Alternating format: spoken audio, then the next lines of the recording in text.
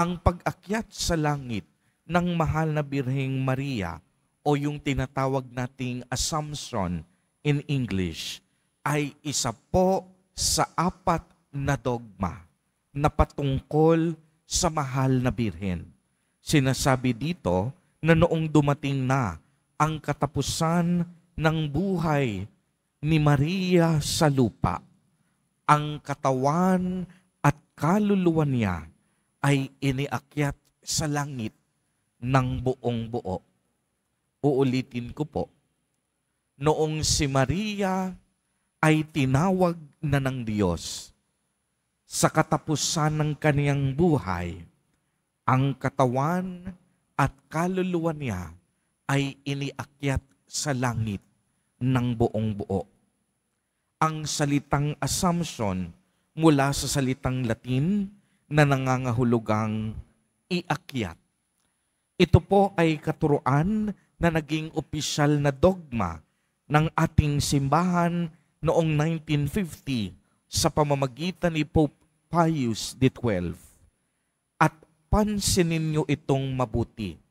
Katulad ng ipinapahiwatig ng iba pang mga dogma patungkol sa mahal na Birhing Maria, ang awa ng Diyos ang kumilos noong iakyat ang mahal na Birhen sa langit. Ang pag-akyat sa langit ni Maria ay isang gawa ng awa ng Diyos. Muling ipinamalas ng Diyos ang kapangyarihan ng kaniyang awa.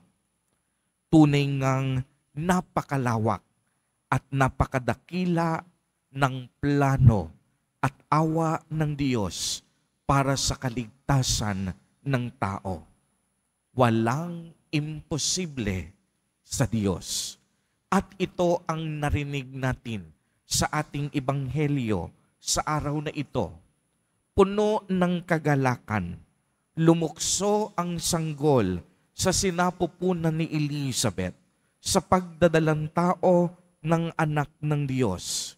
Kung inyo pong mapapansin, ang dalawang himala at misteryo sa kasaysayan ng ating kaligtasan. Una, isang matanda at maug pa si Elizabeth, pinagkalooban ng anak ng Diyos, nahabag at dahil sa awa ng Diyos, nagbuntis si Elizabeth. Ikalawa, isang birhen dahil sa dakilang plano ng Diyos si Maria ay nabuntis sa pamamagitan ng banal na Espiritu Santo para sa katubusan ng ating mga kasalanan. Muling nahabag at naawa ang Diyos sa pagiging makasalanan ng tao. Si Elizabeth, si Maria, kapwa nagdalang tao, kapwa kinalugdan ng Diyos, kapwa tinanggap ang pagpapala ng Diyos, kapwa nakadama ng awa at habag mula sa Diyos. Kung lubos po nating pagninilayan, wala pong katumbas ang biyayang ipinagkaloob sa ating mahal na Birheng Maria. Bakit? Sapagkat pinili at hinirang siya upang maging ina ng ating tagapagligtas, ina ng anak ng Diyos. Hindi ordinaryong tao ang ipinagbuntis ni Maria.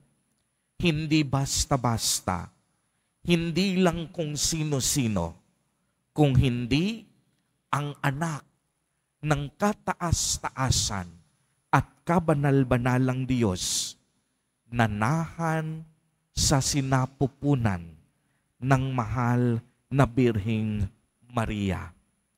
At pagmasdan ninyong mabuti, noong si Maria nagdalang tao, hindi siya nagmayabang, hindi siya nagmalaki, Hindi niya ipinagsigawan sa buong mundo na mas higit siyang pinagpala sa babaeng lahat. Hindi niya pinagpilitan ang kaniyang sarili para kainggitan ng ibang mga kababaihan. Ano ang unang ginawa ni Maria? Siya mismo naglakbay upang ibahagi at ipamalita sa kaniyang pinsan ang mabuting balita ng Diyos Ama. Siya mismo nagdala sa Panginoon upang maging pagpapala sa ibang tao. Hindi niya inangkin ang grasyang ipinagkaloob sa kaniya ng Diyos. Hindi niya ito sinarili. Pinuri at dinakila niya ang kataas-taasang Diyos. Katulad ng ipinahiwatig ng iba pang dogma tungkol sa mahal na Birheng Maria, ang awa ng Diyos ang kumilos sa Kanya at ito ang laman ng Kaniyang Magnificat. Ang awa, ang habag pagmamahal ng Diyos na ito ay tunay na gawa ng pag-ibig ng Diyos. Ang Diyos ay nagpamalas ng kaniyang kahangahangang gawa sa pamamagitan ng pagbubuhos niya ng pagmamahal sa atin. Kaya nga kung inyong mapapansin, ang mahal na Birhing Maria hindi nabulok.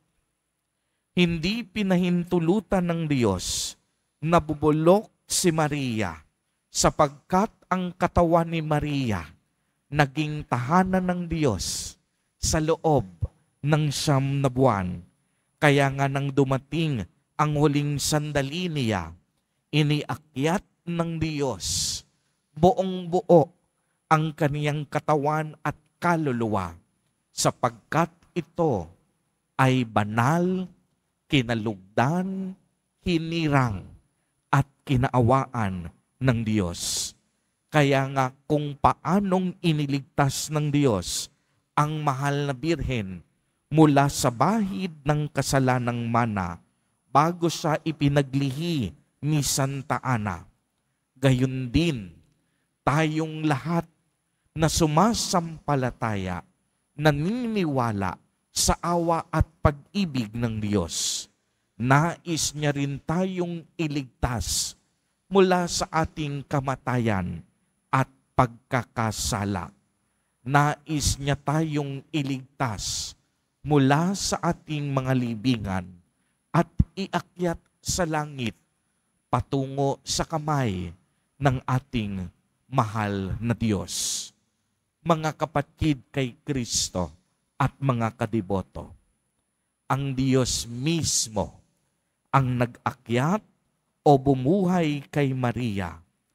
Siya mismo ang nagtalaga sa Birhen bilang larawan ng bawat Kristiyano na naghahangad at nagnanais makapasok sa kaniyang kaharian pagkatapos ng buhay natin sa lupa.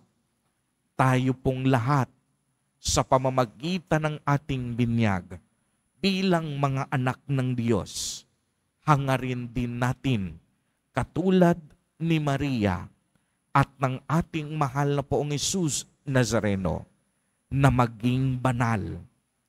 Hangarin natin na tayo'y maiakyat at makapasok din sa kaharian ng Diyos. Amen. Purihin at dakilain natin ang ating Panginoon ang mahal na poong Jesus Nazareno.